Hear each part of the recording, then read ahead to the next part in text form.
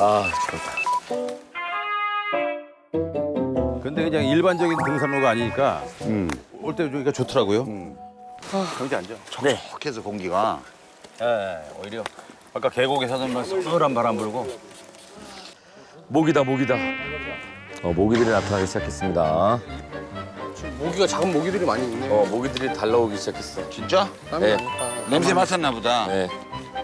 내가 모기 사냥할까? 여기 모기 많네 여기. 모기 모기 모기 모기 모기. 모기 사냥을 그렇게 하시는 거예요? 얘들 지금 이 안에 숨어 있다가 지금 다 나오고 있어. 아 가만히 놔, 놔두세요. 와, 모기 많이 나온다. 오! 모기 오. 사냥이 아니잖아요 이게. 야, 아, 이거 왜 아직도 벌집을 안 쓰셔? 아, 모기 모기 쓰셔가지고. 아, 모기. 무슨 여기저기 모기 가만히 있던 모기 모기가 나오는 거 봐. 어우. 아, 장난감이죠. 아니 아까 두세 두세 마리밖에 안 보였거든 지금 한 20마리가 지금. 아, 들쑤시셨네, 들쑤셨어. 얘네들 조폭 모기야 뭐야? 왜 다 나오는 거야? 아하. 천하무적이지 모기가 싹 소리 없이 가서. 근데 어제 그 우리 방에 있던 모기는 왜 안 먹었지?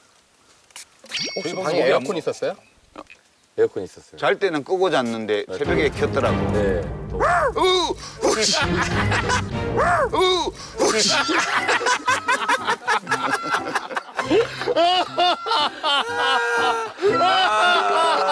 유 작가님도 놀래는구나. 아니 소리 소리 깜짝 놀랐어. 아니, 지금 여태까지 분위기는 어, 모든 거를 다 초월하시고 해탈하시고 도사님 같으셨는데. 오는 소리를 감사하게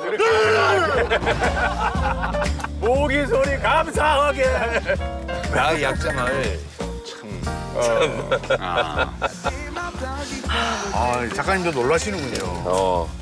나 알고 보면 약한 사람이야. 갈까요? 예. Le vin